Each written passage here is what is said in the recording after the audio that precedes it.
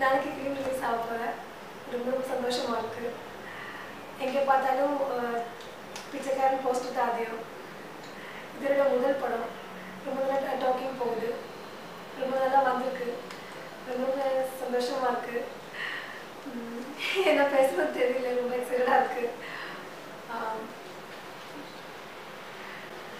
ஷர்சாலையும் ஜெர்னிசாலையும் ரெண்டு பேரும் காம்பினேஷனில் வந்ததுனால ரொம்ப சந்தோஷமாக இருக்குது எல்லாரும் ஃபிலிம் ஃபிலிம் பேர் எல்லாரும் கேட்கும்போது நான் நான் சொல்கிறது வந்து ஷர்சார் தான் டைரக்டர் விஜயன் தான் விஜயன் சார் தான் ஹீரோ அப்படி தான் சொல்லி போவேன் ஃபஸ்ட்டில் ஃபஸ்ட்டில் அப்படி தான் இருந்தேன். இப்போது ஃப்ரெண்ட்ஸ் எல்லாருக்குமே தெரியும் பிச்சைக்காரன் மூவி தான். எல்லாருமே சும்மா கிடல் பண்ணுவேன் ஃபஸ்ட்டில் என்னடி மூவி நீங்களும் கேட்பேன். அப்போது அந்த மாதிரியெல்லாம் ஃபஸ்ட்டில் இருந்தேன். பிச்சைக்காரன்ற டைட்டில் அந்த பிச்சைக்காரன்ற அர்த்தம் தெரியுமா? என்னன்ட்டு மீனிங் என்னன்னு தெரியுமா பிச்சைக்காரனா பிச்சைக்காரன்னா அஹ், மலையாளத்திலேயே அப்படிதான் பிச்சைக்காரன் தான் சரிங்க. அந்த பிச்சைக்காரன்ற ஒரு டைட்டில் வச்சு நீ உங்களை நடிக்க சொன்னோன்னே இதுதான் டைட்டில்னு உங்களுக்கு எப்படி இருந்துச்சு உங்களோட மனநிலைமை? வாட் வாஸ் யர் ஃபீலிங் நீங்கள் ஐயோ பிச்சைக்காரன் ஃபர்ஸ்ட் படமாச்சு டைட்டில் இந்த மாதிரி பேர் இருக்கணுன்னே உங்களுக்கு எப்படி இருந்துச்சு ஃபீலிங்கிறத பற்றி கொஞ்சம் சொல்லுங்கள் ஃபர்ஸ்ட் வந்து என்கிட்ட பிச்சைக்காரன் பேர் என்கிட்ட சொல்லலை. சர்சாத்தா என்கிட்ட ஸ்டோரி சொன்னேன் ஸ்டோரி சொல்லும்போது எனக்கு ஸ்டோரி ரொம்ப பிடிச்சிட்டு ரொம்ப நல்லா இருக்குது ஸ்டோரி எனக்கு ரொம்ப பிடிச்சிட்டு. அப்புறம் சார் ஒடிஷன் பண்ணிட்டேன். ஒடிஷன் பண்ணி பார்க்கும்போது எனக்கு ஃபஸ்ட்டு ஒரு சீன் கொடுத்தேன். அந்த சீனில் நான் சார் என்ன டக்குன்னு நான் கன்ஃபார்ம் பண்ணிட்டேன். அப்புறம் தான் ஸ்டோரி சொல்லிட்டு என்கிட்ட லாஸ்ட் தான் அந்த ஸ்டோரியெல்லாம் சொல்லி கேட்டுச்சு. லாஸ்ட்டு தான் பிச்சைக்கான் தான் நம்ம பே நான் நம்ம ஃபிலிம் டைட்டில் நேம்னு சொல்லிட்டு. அப்போ சார் இப்போ சார்கிட்ட கேட்க முடியாதுல்ல எடுத்து பிச்சைக்காரன் பிச்சைக்காரனா அது கே கேட்க முடியாதுல்ல அப்போ நான் மனசில் அது பிச்சைக்காரனா அப்படி ஓகே சொல்லிட்டேன் அந்த மாதிரி இருந்தேன் அப்புறம் நான் வீ- நான் நான் ரூமுக்கு வந்து நான் ரூமுக்கு வந்துட்டு நான் அம்மா கிட்ட சொல்லிட்டேன் இந்த ஃபிலிம் செலக்ட் ஆகிட்டேன் பட் பேர் வந்து பிச்சைக்காரன்னு சொல்லிட்டேன் அப்புறம் அம்மா பிச்சைக்காரனா நான் அப்படி வச்சிருக்கிறது கேட்டேன் இல்லை நான் ஸ்டோரி கேட்டேன் எனக்கு ரொம்ப பிடிச்ச அந்த ஸ்டோரி ரொம்ப நல்லா இருக்கு.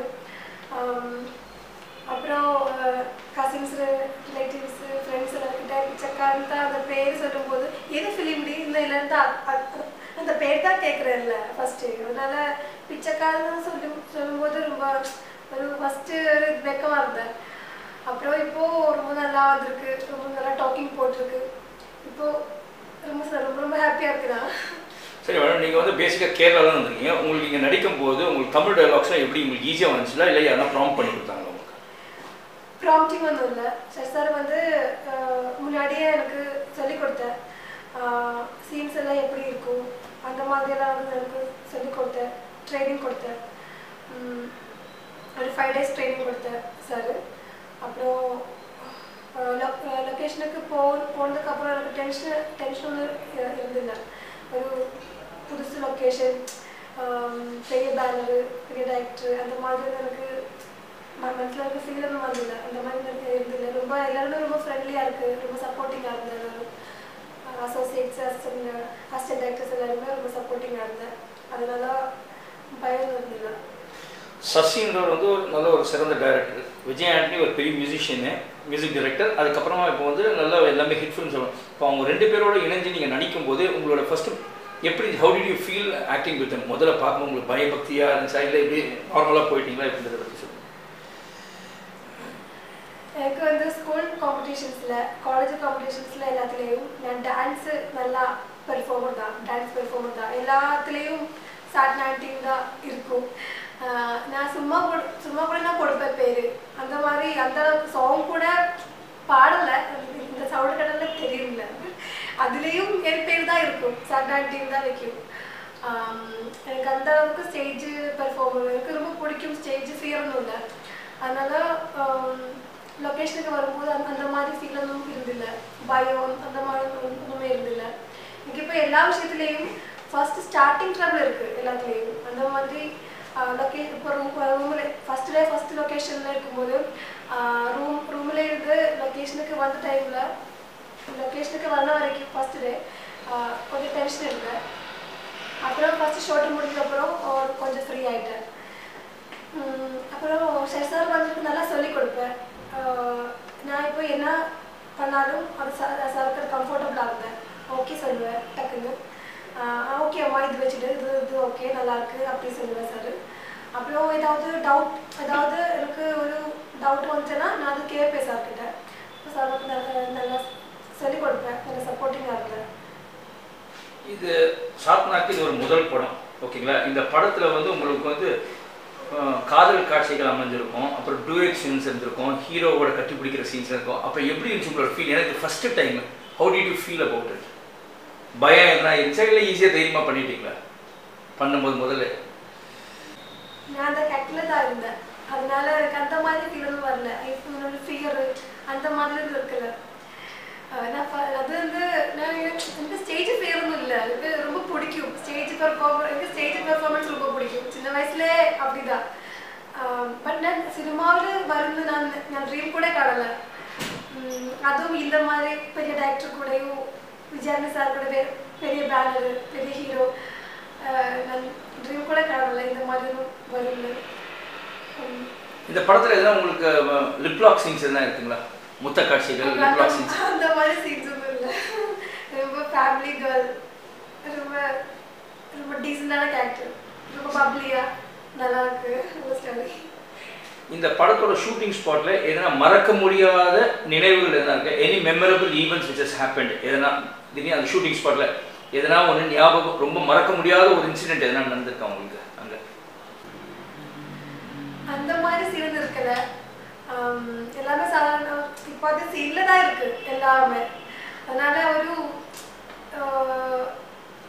இந்த மாதிரி லொக்கேஷன்ல அந்த மாதிரி ஷார்ட் டைம்ல அந்த மாதிரி இருந்தில்ல சாத்னா டைட்டர்ஸோட அடுத்த ப்ராஜெக்ட்ஸ் என்னென்ன இருக்கு வேற என்னென்ன படம் பண்றீங்க இப்போ வந்து எய்தவன் மூவி போட்டிருக்கு ஹீரோ வந்து கலையரசன் டாக்டர் சார் வந்து சக்தி நல்லா போட்டிருக்கு மூவி இனி ஃபைவ் இருக்கு ஷெட்யூல் தட்ஸ் ஆல் சரி இப்போ தமிழ் அதுலேயே வந்து வித்தியாசமான ஒரு கேரக்டர் போலீஸ் போலீஸ் காக்கி தான் காக்கில தான் என்ன வர்றது புல்லட் ஓடிக்கிற மாதிரி நிறைய சீன்ஸ் இருக்கு.